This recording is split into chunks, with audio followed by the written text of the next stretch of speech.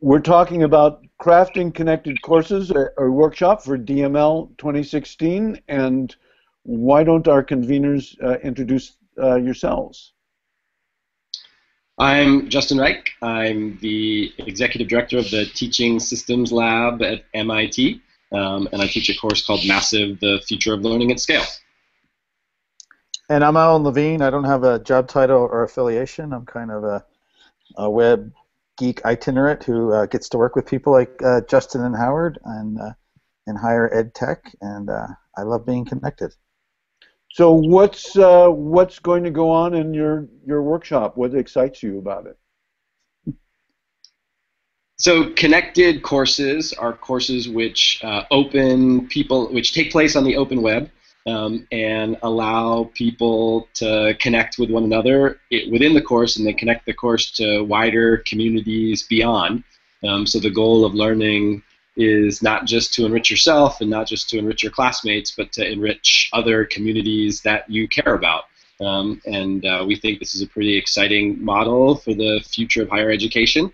And so in our workshop, we'll help people think about how you would design these kinds of courses, how you would think about the instruction in these kinds of courses, how you would build technology infrastructures that make these kinds of courses possible, and to help induct the people in our workshop into this growing community of folks that are experimenting with these kinds of connected courses.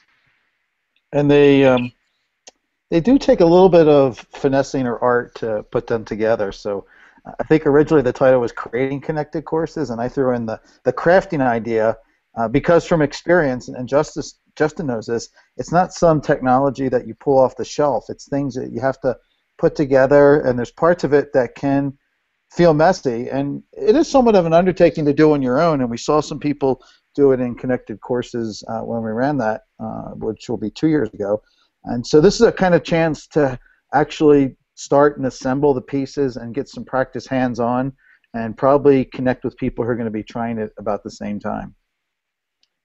What do you think are the most work with people who have we've designed we've designed connected courses for learning experiences that happen synchronously over a week that we want to have a connected environment around. We've designed it for semester long um, college courses. We've designed it for quarter long courses. We've designed it for entirely online courses and people who teach in lots of different face-to-face, online, blended learning environments. Um, this, these kinds of approaches have been tried in lots of different contexts and are, and are promising in all of them.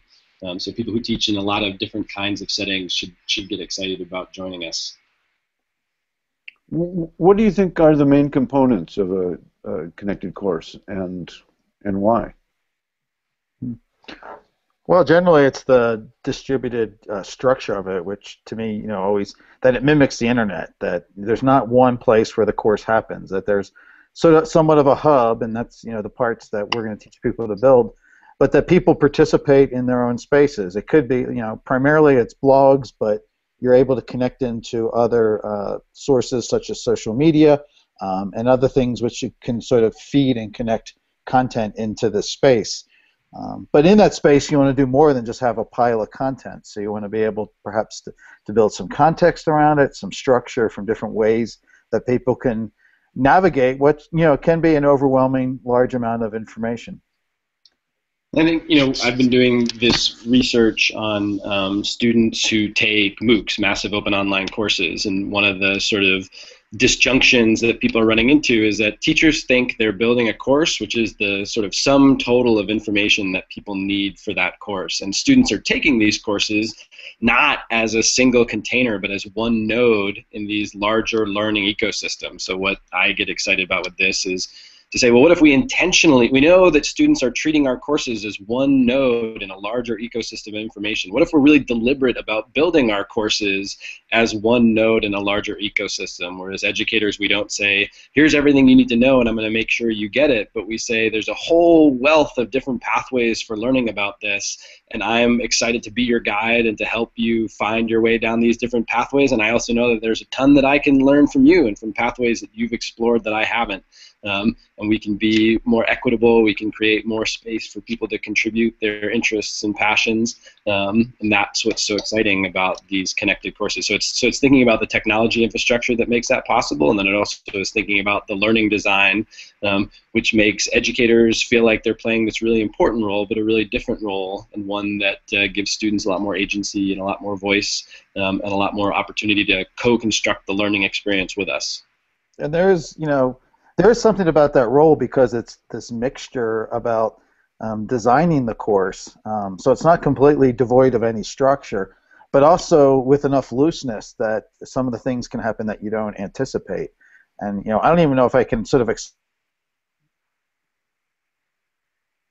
Oops, we seem to have lost Alan for the for the moment. So.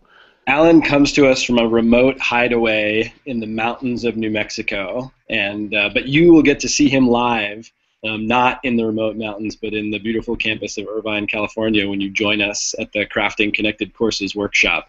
So you can think of that as a cliffhanger um, for uh, to, to be able to come to us in Irvine and hear the rest of Alan's sentence um, fully fleshed out, live and in person.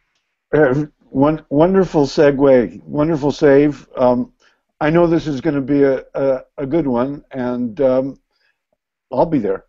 So, awesome, Howard. We'd love to have you. Great. Okay. Thanks so much, Howard. Really appreciate the chance to um, share what we're up to, and looking forward to having a bunch yeah. of folks in Irvine. Thank you.